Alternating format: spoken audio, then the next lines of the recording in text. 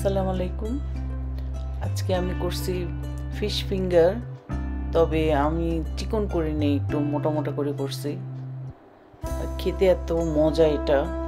আমি যখন বিয়ের আগে কক্সবাজার গেছিলাম, তখন মানে কক্সবাজারে খেয়েছি। এরপর এই জিনিসটা আমি বিয়ের আগে কিন্তু অনেক বানাতাম। তো সাধারণত লন্ডন আসার পর আসলে আমার এটা বানানো হয়নি। দেশে থাকতে অনেক বানাইছি, অনেক খেয়েছি অনেক দিন পর কোরাল মাছ নিয়ে আসছি। কোরাল মাছটা দিয়ে করলাম। আশা করছি ভিডিওটা ভালো লাগবে। আমি ফুল রেসিপিটা দেখিয়ে দিব। আর এত ক্রিস্পি আর এত টেস্টি অবশ্যই একবার হলে বানিয়ে দেখবেন। খুব মজা। এই যে কাটা ছাড়া কোরাল মাছ, আপনারা চাইলে স্কিনটা ফেলে দিবেন, তবে আমার মাছটা খুবই ফ্রেশ এই জন্য আমি স্কিন রাখছি। আর ফ্রাই স্কিন খেতেও কিন্তু ভালো লাগে।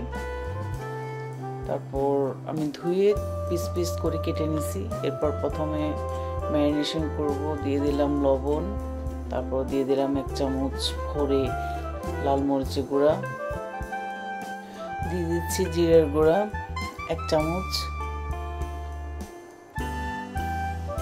তারপর এখন দিয়ে দিব আমি ব্ল্যাক পেপার মানে গোলমরিচের গুঁড়া, দিয়ে দিচ্ছি রসুনের পেস্ট এক চামচ। তারপর এখন দিয়ে দিব আদার পেস্ট তাও এক চামচ।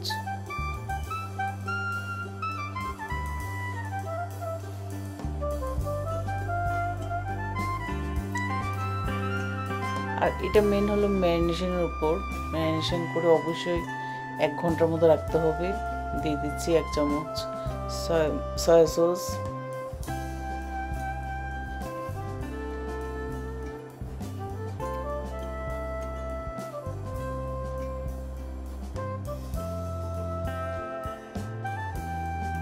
তারপর এক চামচ ব্ল্যাক পেপার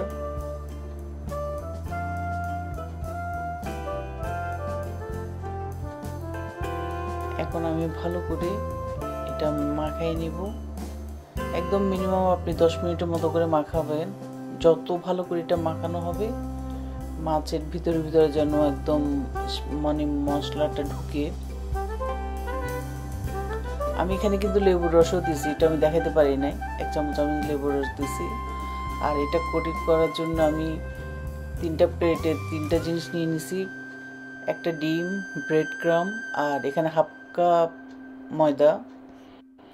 এখন আমি ময়দার সাথে আমি হাফ চামচ লাল মরিচ, তারপর আর হাফ চামচ লবণ মিক্সড করে আমি ভালো করে মিক্স করে এটা রাখব। তারপর ডিমটাকে আমি ফাটাই নিচ্ছি।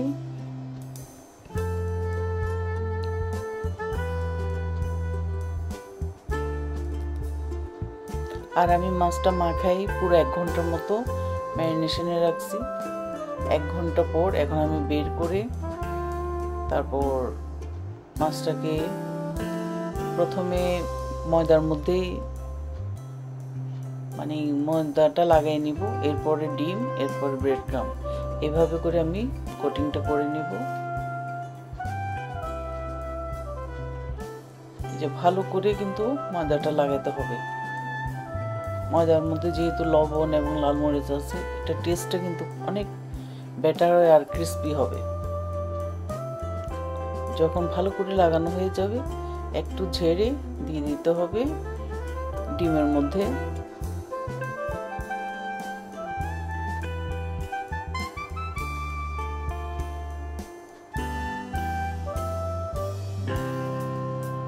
আর এই জায়গায় অবশ্যই চামচ দিয়ে করতে হবে। হাতের সাথে লেগলে পুরোটা ডিমটা লেগে যাবে। যে দুপাশ যখন একদম ভালো করে মানে লাগানো হয়ে যাবে, তারপর দিয়ে দিতে হবে ব্রেড ক্রামের মধ্যে।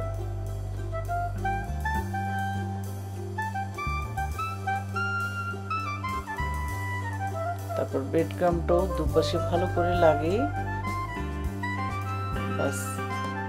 এখন আমি চামচ দিয়ে এটা তুলে একটা প্লেটে নিয়ে নিব। এইভাবে করে আমি সবগুলো করে নেব। আমি যতগুলো মাছ, সবগুলো আমি করে, বাস।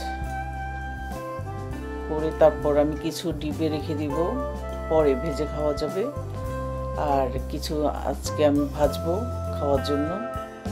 তবে এটা আপনি করে দু মাসও রাখতে পারবেন, কিচ্ছু হবে না। দু মাস পরে খেলেও টেস্ট একদম পুরা মনে হবে যে আজকে বানিয়েছেন, এত মজা। তারপর কিছু আমি ভেজে নিচ্ছি।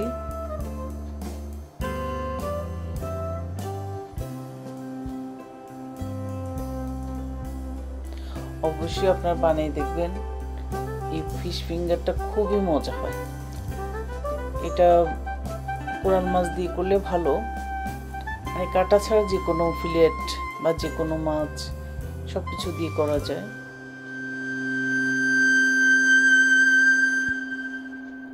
আমার হাতের এই ডিশটাকে সবাই সিগনেচার ডিশ বলতো, এত মজা। আমি অলওয়েজ এই ডিশটা কোনো গেস্ট আসলে বানাই খাওয়াতাম বা নিজেরা, নিজেদের জন্য। আমার আব্বুর খুবই ফেভারিট ছিল।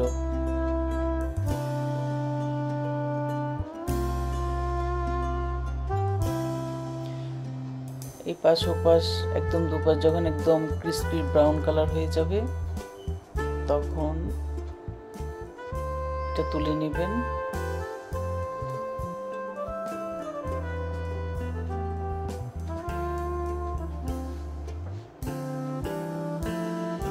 এই যে আমি একদম ব্রাউন করে ভেজে নিছি। আশা করছি ভিডিওটা ভালো লাগবে।